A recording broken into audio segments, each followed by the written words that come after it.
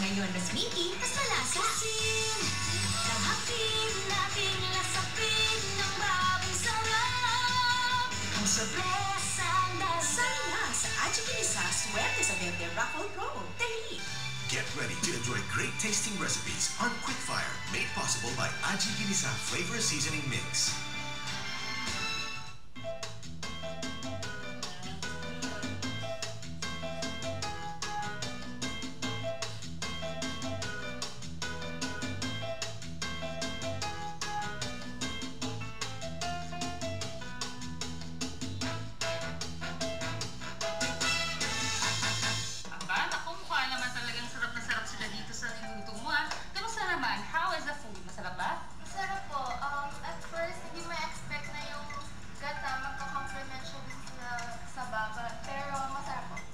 Ikaw ano naman masasabi mo? Ah, masarap siya kasi yung sabay nagkaroon siya ng flavor din sa gata.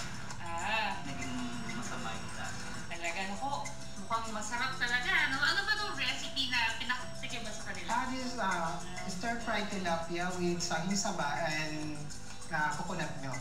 Sir fried tilapia with saging saba and coconut milk. So, so I'm sure nag enjoy sila. Start na tayo magluto. Para naman, alam pa rin paano gawin yan. Let's go, let's go. Okay, so magluto na tayo. Hello, foodies! Kasama ko ngayon ang student ng CCA na si Randy at mag-share na siya ng kanyang recipe. So let's start. Ano bang una natin kailangan gawin? Ah, una natin is uh, isi-season natin yung tilapia with uh, of course the. Ah, okay. So ito we have here tilapia fillet. So season natin siya with Haji Ginisa. Siya, pa bang ginagawa mo yan, Sige. i-slice ko muna itong ano, Yung ating saba. saba.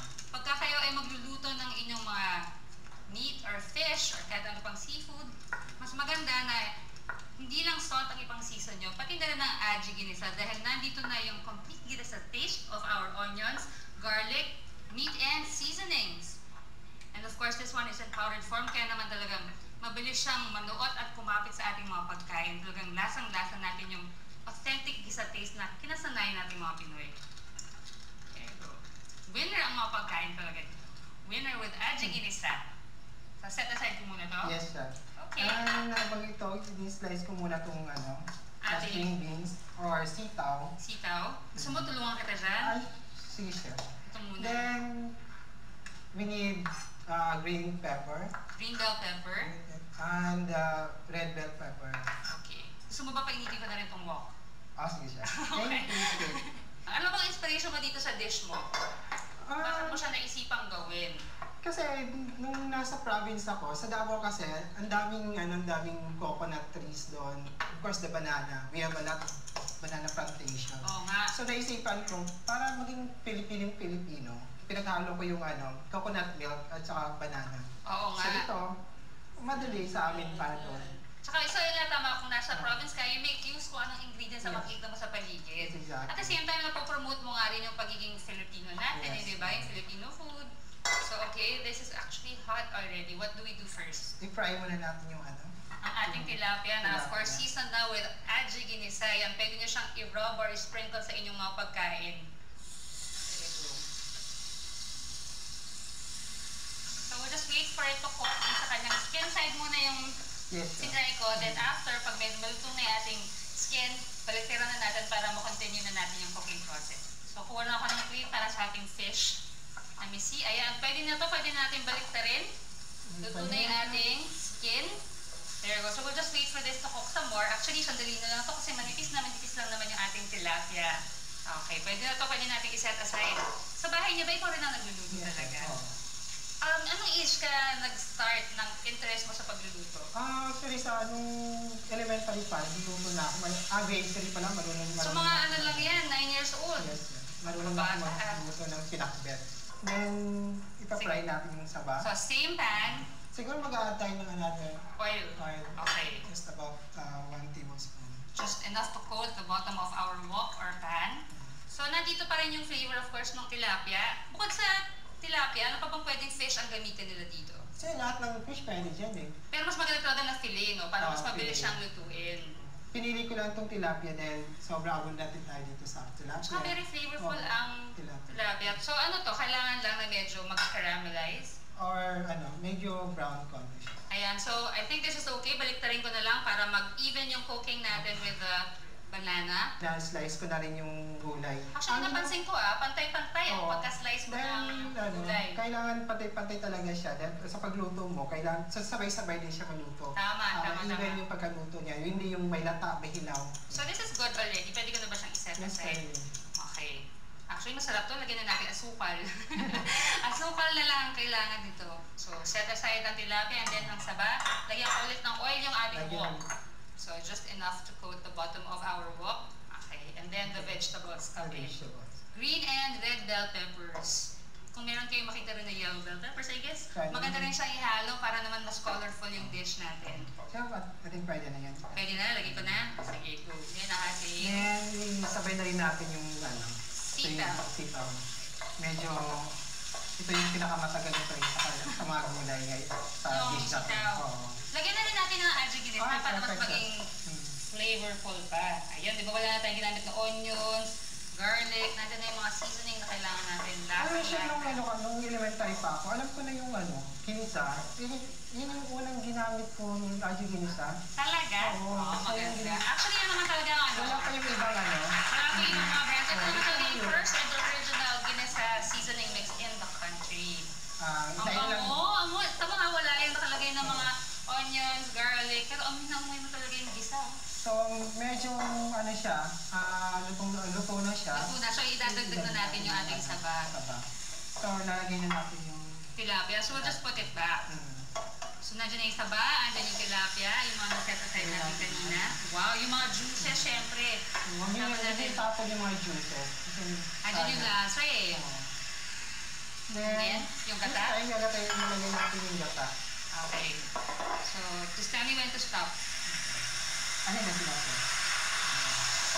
So lower natin yung heat ha. Or natin. Siguro tatakpan natin yung Okay, ayan. So kailangan natin siyang takpan para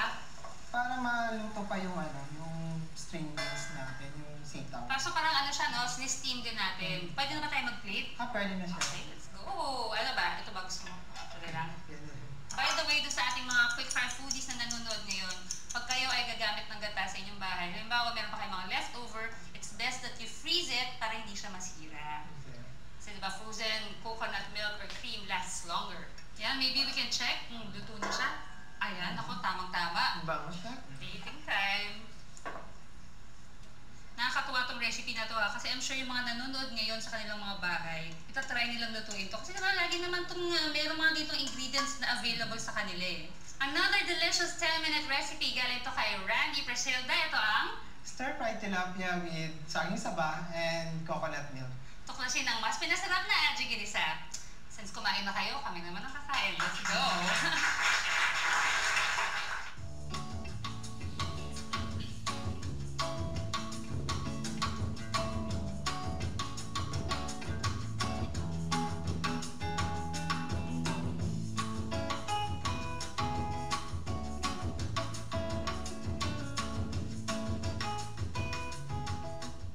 chefs and culinary enthusiasts as they fire up their own best dishes in various cooking demonstrations and learn from different professionals as they talk about food preparations and businesses.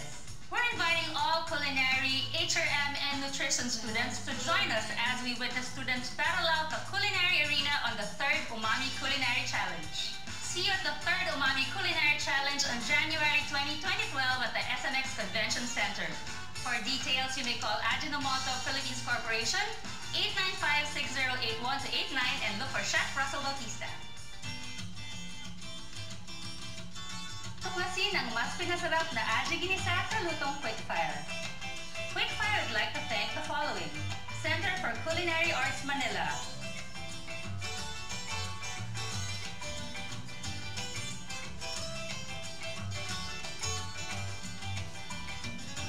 Would like to thank Dr. Nina Rodil de Luna of Dental Focus, Chair of B&D Hair Gallery Salon, Chris Angel Magno of Magno Opticals, Clara International, Masarap po, tapos yung sweetness ng saba, nagka-complement sa gata at sa fish. Masarap siya. Yung gata, tsaka yung saging match, tsaka yung pritong tilapia, pwedeng pwede na siyang iulam sa kanin.